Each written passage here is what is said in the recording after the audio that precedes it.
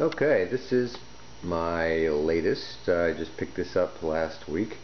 This is a Seeburg USC1, which is a, a band shell, a musical band shell. They made this in 1970, 1971. Uh, picked this up from some sweet lady that had it. They played it for eight years, and then when it stopped working, they put it out in the garage for a number of years, and that's how I found it she thought it just needed a fuse and what I really found out is they only thing they ever did to it is push the buttons. They never did any lubrication or repairing. So uh, what the reality of it was is the motor and uh, all the internal mechanisms seized up from gunk and lack of oil and all that uh, old lubrication that turns to glue.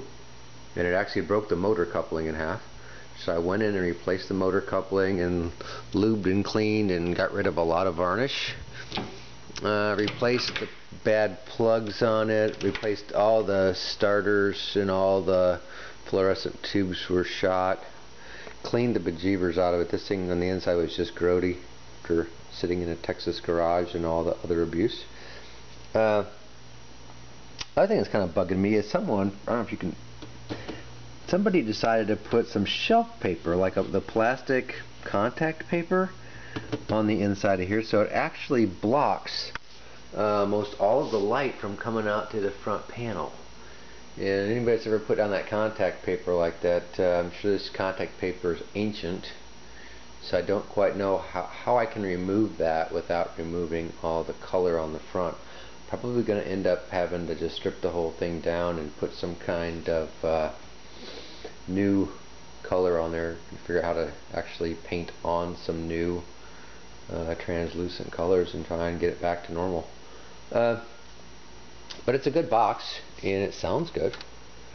And uh, well, the other thing is if you look at the top, it has this really cool, this, it doesn't show up on the video as purple, but this is purple. This is almost a magenta purple and it's just a piece of plastic on there that happens to be that color. Down in the bottom the plastic is removed and so it's just shining white light down there so I want to get some colored plastic down there to light up the bottom grill. But all in all it's a nice little box. I mean just I just I threw a random records in that I just happen to have that you kind of things that you acquire that you don't actually ever even put into sleeves because they're not records that you would play but they're good for testing with. So let's just see how it works. Let's pick one here. Um, see what I get.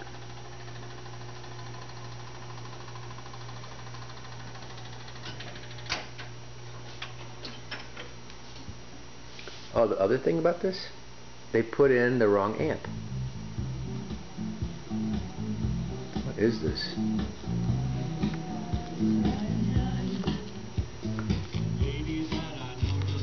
oh gosh.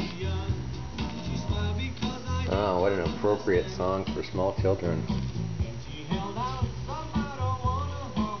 Okay. Oh, by the way, the other thing that I learned when I got this is that this is supposed to have a TSA amplifier. So this is supposed to be a TSA, but it's not. Instead, it's an S. It's a TSA 10. Is what it's supposed to have in it. This is an uh, an SHP1 high-powered amplifier, which goes for a much newer model. So they uh, rigged this one in here, and uh, it works. But uh, you just never know what you're going to find when you buy one of these. But I checked it all out and um, checked all the fuses and everything works. It's got some some new caps, some old caps, so it's uh, it's gonna need a capping soon. Great song, huh? Ringo Starr, I think. Anyway, so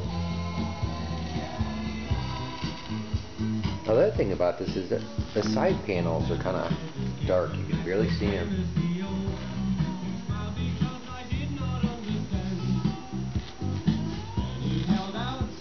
Oh, also, I don't have the key to the uh, the box on the side. So there might be a quarter or two in there for all I know.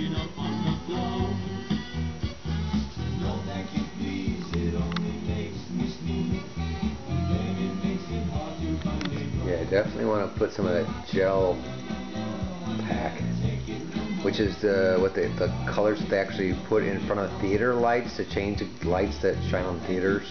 The spotlights they have this different colored plastic. They call it gel packs. So all it is is different colored sheets of plastic that are made to be abused in high temperature. Well, there you go. That's my latest find, and uh, I've cleaned it up enough where it's gonna time to go up to the game room.